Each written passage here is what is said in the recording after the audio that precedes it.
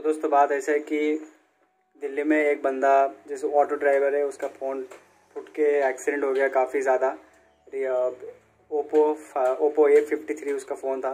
तो अचानक से फ़ोन उसका गर्म हुआ हिट हुआ। हिट होने के बाद अचानक से फ़ोन ब्लास्ट हुआ ब्लास्ट होके उसका जो ऑटो था, वो ऑटो भी पलटे हो गया और उसका काफ़ी बुरा हाल है एक्सीडेंट हुआ उसका।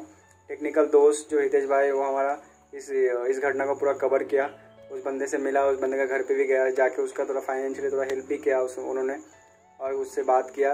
काफ़ी ज़्यादा उन्होंने बताया कि, जैसे फ़ोन हीट हुआ हीट होने के बाद उसको मतलब फेंकने का भी टाइम नहीं मिला। वो पैंट का जेब में उस फ़ोन फट गया। तो गाइस आप लोगों से यही रिक्वेस्ट है कि आप लोग फ़ोन चार्ज में लगा के ज़्यादा यूज़ मत करो। गेम वगैरह जो भी सोशल मीडिया जो भी आप लोग कुछ कर रहे हो तो थोड़ा कम तो यूज़ करो उतना। जैसे फ़ोन गर्म होता है फ़ोन को रख दो।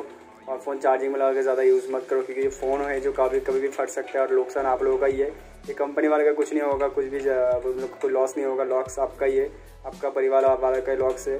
क्योंकि अगर आपको कुछ हो गया अचानक से तो आपका परिवार वाला कितना मतलब तकलीफ़ में आ जाएगा क्योंकि अभी महामारी का टाइम चल रहा है कोरोना का।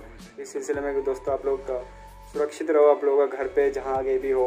और ये जो फ़ोन है, ये सारा फ़ोन कभी भी फट सकता है दोस्तों, इसका कोई भरोसा नहीं। तो बस यही आप लोगों को बताना था कि जो टेक्निकल दोस्त है हमारा टेक्निकल दोस्त यूट्यूबर जो है तो उन्होंने ये कई स्टोरी का कवर किया और मेरा डिस्क्रिप्शन में उसका लिंक भी है।